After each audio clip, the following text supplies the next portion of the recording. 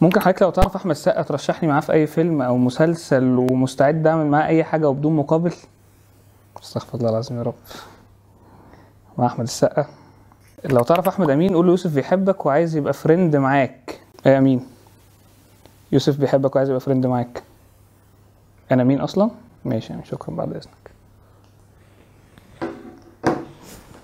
واحدة بتقول لي تفخس عليك. تفخس اللي هي اسفخس وتفو حب الناس حب الناس. كفاية لابتوب بقى إيه؟ مفيش حاجة منه حلوة. نفتح الموبايل.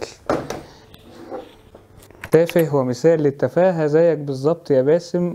قمة التفاهة. آه ده بيشتم باسم يوسف. لا اشتمني أنا بقى ما تشتمش باسم. وبالمناسبه يعني وأنا صحيت في يوم الأيام كنت عامل فيديو عن مصطفى شعبان كده بتكلم عنه وصحيت تاني يوم لقيت الفيسبوك كلها الفيسبوك كله بيتكلم إن أنا باسم يوسف عمل لي share ل...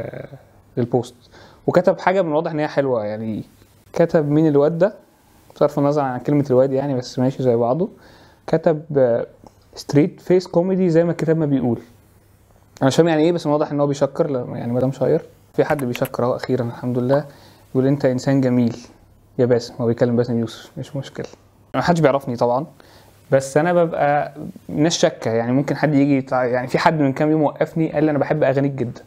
قال لي رغم إن أنا قاضي بس أنا بحب اغانيك جدا. مفيش تعارض إن هو يبقى قاضي وإن هو بيسمع أغاني بس المشكلة إن أنا مش مغني أصلا ومش عايز أبقى مغني. بكري يعني صاحبي ومعانا في البرنامج في أبو حفيظة.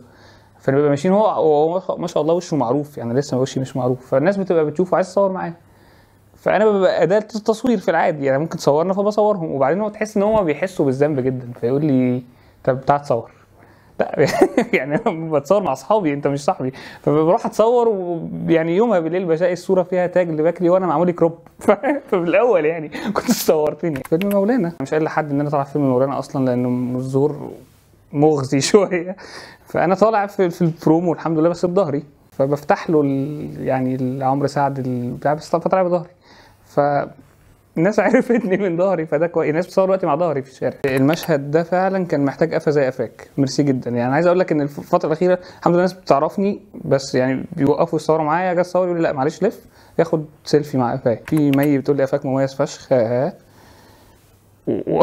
في شاذة بتقول لي والله هتبقى عل... حاجة في عالم الكوميديا ربنا يوفقك.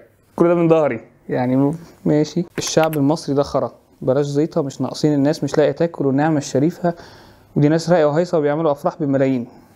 حضرتك لو قصدك عليا أنا عامل كتب كتاب ب 300 جنيه في دار مناسبات والله. أنا بعمل videos كده بتكلم عن الفنانين اللي كلنا بنحبهم بس اللي ليهم طار بايت يعني. يعني اتكلمت مرة عن أحمد السقا الفنان أحمد السقا طبعا يعني بعد إذنه. واتكلمت عن الفنانة نادية الجندي واتكلمت عن السينابون الفنان مصطفى شعبان. كنت كاتب post عن الأخلاق وحطه كرمز للأخلاق. يعني كلنا عارفين الفنان محمد صبحي هو رمز الأخلاق فالناس فهمت إن أنا بتريق وأنا بصراحة كنت بتريق.